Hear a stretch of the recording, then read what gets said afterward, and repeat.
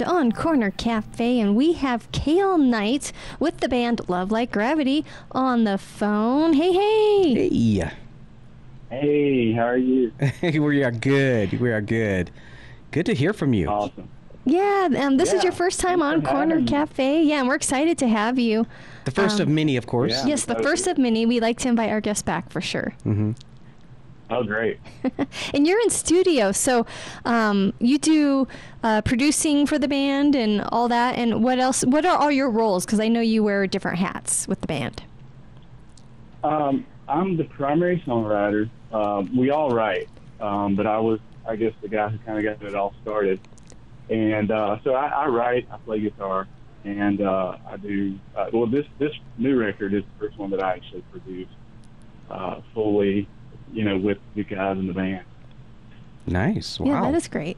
Um, so you guys um, have a a new um, new music out right now, and um, did you guys take a break? And if so, what was the the cause of the break? Or you know, and now you guys are up and rolling again, and that must be exciting. Yeah, it is exciting. Um, so we started uh, probably somewhere around 2008, 2009, and uh, did a couple of records, toured, and um, you know how it is. Life just gets busy. Yeah. Uh, Yeah, definitely. families. And you know, uh, a couple of guys went on to be one. Uh, our original lead singer actually went on to be uh, head pastor of a church in Florida. Oh, nice. Oh. Very nice. So it, it made it it made it very difficult to tour, and, and so we ended up. Uh, I think 2015 was our last uh, record that we did. So we took some time off. Uh, me and a couple of the other guys did other projects. We were uh, working with some other artists and uh, doing kind of a co-write thing, a producing thing, uh, just some little pet projects. And sometime, I guess it would have been about the end of it had to be the end of 2020. Um, we just started kind of throwing around some songs and said, hey, this, this sounds like, you know, some very inspired material that, that kind of harkens back to our first record.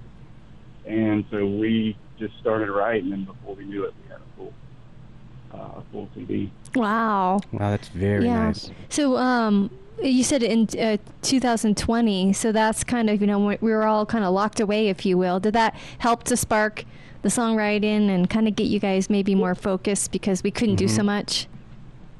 Right. Yeah, and there was a lot of things, obviously, a lot of things going on uh, in the world, in our culture. Yeah. Yeah, definitely.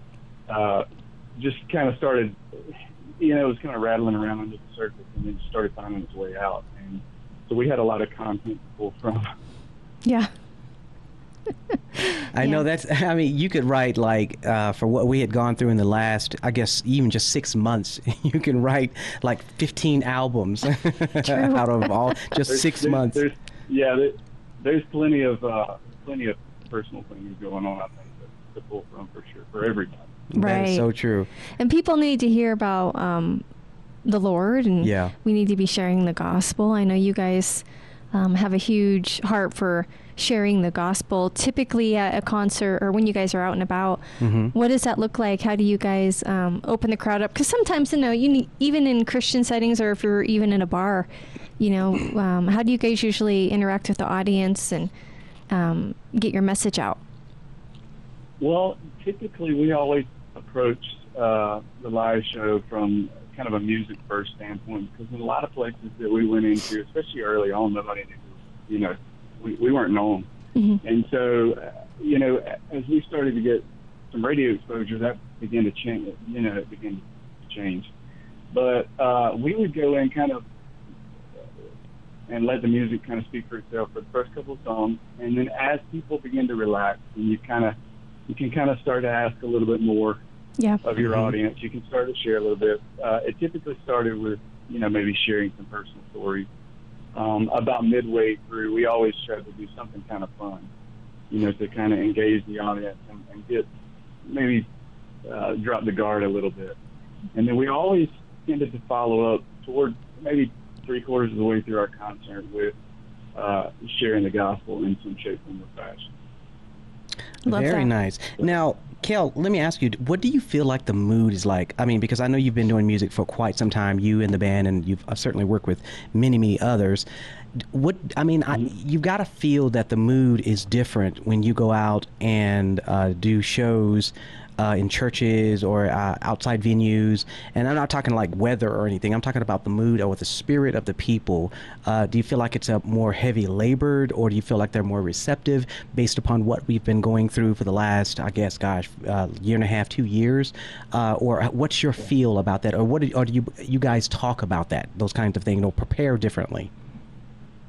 Yeah, well, it hasn't happened so much for us lately because um, we haven't been able to tour since the, the new record. We spent nine months, uh, you know, kind of in the studio Mm-hmm. uh, writing and recording. So we actually have not we've not been on stage yet to do that. Now I can speak to that a little bit more personally, having been in uh, venues and stuff like that with other artists. Um, and it, it is there is a different, and, and depending on where you are, there's a different uh, mood or environment. I guess you would you would say Mm-hmm. uh, from place to place. Some place it is a heavier, um, almost war torn kind of feeling Oh wow. um, Mhm. in the congregation. And then in other places, there's um, a kind of a, a, a refreshed, renewed, um, I don't know, maybe it seems like they take the moments that we have now to enjoy certain things that we're starting to enjoy again. Um, they mean more. Right. And Right. there's a bit of a, a revitalization there. Yeah. So I, I, I've seen both sides of it, I guess. Yeah, and then uh, you know, I kind of see it as you know, you guys are kind of like in the cocoon, if you will, and then soon you're going to be able to go out and and share Yeah. um, from your own personal experience, uh, from your how you were before and now how you are now in your walk with the Lord, or just personal stuff. How do you feel like you've matured in this season? And then when you guys go tour again, what do you feel most excited to share? Um, well, it's interesting because I, I, we've definitely matured um, in our personal faith. Um, I think just because of the, the stuff that we all face uh, from day to day, and not just uh, what we face, you know, in society over the, I mean, in our personal, in our families, in our personal lives, struggling Right. with habits, whatever. Um, we learn new lessons all the time, and I, and I think um, there's definitely um, I know for me personally, and even with this record, there's more of a focus. I think, um, not that there wasn't one in the beginning, but there's more of a uh, an earnest focus on the gospel and sharing Right. the gospel Mhm. Than maybe there was on your, you know, on our first album. Right. It was it was a thing, and it was definitely something we were intentional about. But I don't. I think we're more intentional now than we ever have been. Yeah. And uh, to the other side of that, musically, I think we've also just learned through the seasons of being in and out of the studio, things matter and what things don't matter. Right. Kind of let go of some of those inhibitions that maybe you had, Right. you know, on the first record, where you're kind of afraid to to mess it up or do, so- and you just you kind of let loose, Right. let it happen. Yeah. I mean, Kel, that has got to be really a, I mean, for the lack of a better word, a dis, dissatisfying or you know a distracting uh, position to be in to create and complete an, an al- a complete an album, entire album, and not be able to promote, get out there and tour.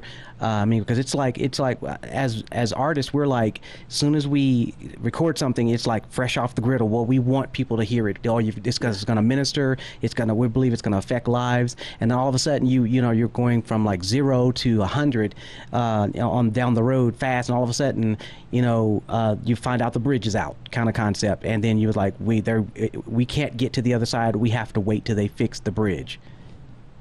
hmm So Yeah, what what does that feel like? hmm Go ahead. I'm sorry. Well, it, it is. It's, it no, it's frustrating. I mean, for sure, because you, you pour your heart and soul into something that you want to share, and, Mhm. certainly you can share it uh, through internet and social media and everything uh, Right. nowadays. But there's there's uh, there's a real humanness and sense of community when you can do that in person. Yeah. Yeah. And uh, it does leave a vacancy, um, you know, when you pour that much time into um, it's something like a new album that that you feel like definitely says something and definitely means something to you. Mm-hmm. Uh, you kind of want to go out and share that uh, in the community with the people. hmm Um, and hopefully, we're going to get to do that really soon. Yeah. Yeah. yeah. Yeah. It looks like things are. Um, we're, we're, we're looking at opportunities. So. yeah. Yeah. Well, that's that's exciting, and hopefully, Very yeah, we're all so, praying yeah. that let's get, let's um, I, you know, just with the um, oh, there Jamie went. Yeah. He went off with the phone, I, but. ca- I caught me. yeah, he caught. So we're doing video too, just for our listeners, because this is going to air in radio, of There course. But in the in the post, we're going to be doing video, so you can see Cale, Cale's cool studio right there too, and see his um, friendly face. But um, yeah, so we're all praying, just to kind of quote unquote, if we can get back to some sort of normal. Yeah, definitely. But I, like you said, even Jamie and I with Corner Cafe, we have an urgency to share the gospel, and that's what Mhm. it's all about. Because we feel that the timing yeah. is short. So let's get busy doing our thing, and we're going to be praying for you guys so you guys can get busy doing your thing and Absolutely. doing your live concerts. And um, we'll have you back on the Corner Cafe as you do new music. And uh, please Yeah. just keep in touch with us, okay, Cale? Absolutely. Thank you for having me. It was great to have you. Oh, Love your absolutely. music and your Yes. guys' heart, and we'll definitely stay in touch. And that was Cale Knight, and we're going to be in touch. We're going to go to a break, though. Stay tuned.